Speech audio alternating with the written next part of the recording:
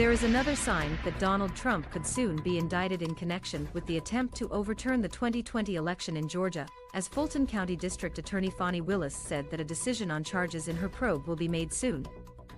Speaking to local station WXIA, Willis confirmed that an announcement on whether the former president will face further criminal charges will be made no later than September 1st.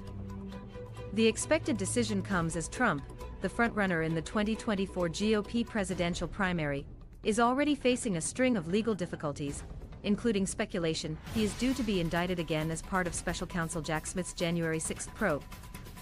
Trump has already pleaded not guilty to falsifying business record allegations in New York, as well as dozens of federal charges under Smith's classified documents probe. The work is accomplished. Willis said, We've been working for two and a half years. We're ready to go. Trump has long denied all wrongdoing in connection with Willis's investigation, and has frequently alleged it is a politically motivated witch hunt. Trump's office has been contacted for comment via email. It has long been strongly rumored that Willis's office could charge Trump and his allies as part of the election interference probe. Willis previously instructed most of her staff to begin working remotely from July 31 to August 18, and requested that judges not schedule trials or in-person hearings until mid-August. A strong indicator that charges could be announced around then.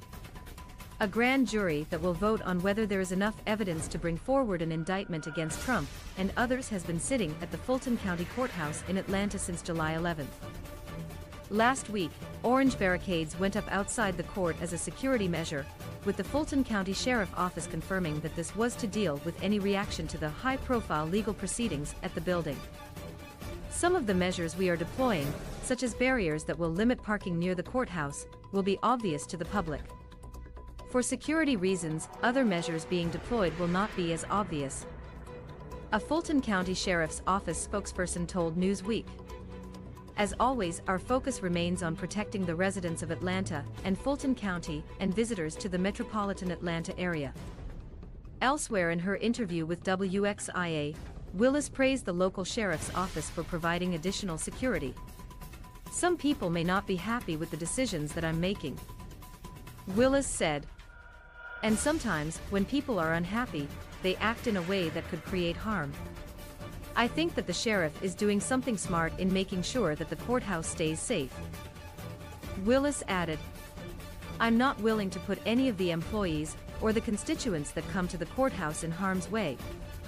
Willis's two-year investigation originally focused on Trump's January 2021 phone call with Georgia's Secretary of State Brad Raffensperger in which the former president asked him to find the 11,870 votes needed to beat Joe Biden at the last election. The investigation later expanded to probe allegations of a multi-state coordinated plan between Trump and his allies to influence the results of the 2020 election across the country. In a post on Truth Social on Saturday, Trump described both Smith and Willis's probe as election interference, aimed at preventing him from re-entering the White House. Why didn't the corrupt Marxist prosecutors bring these radical unjustified charges against me 2.5 years ago, long before my presidential campaign had begun, Trump wrote. Now deranged Jack Smith will probably bring another case.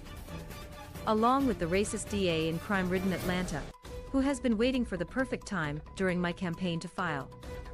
This is election interference prosecutorial misconduct. They are all in a coordinated attack, trying to steal another election, but we won't let them.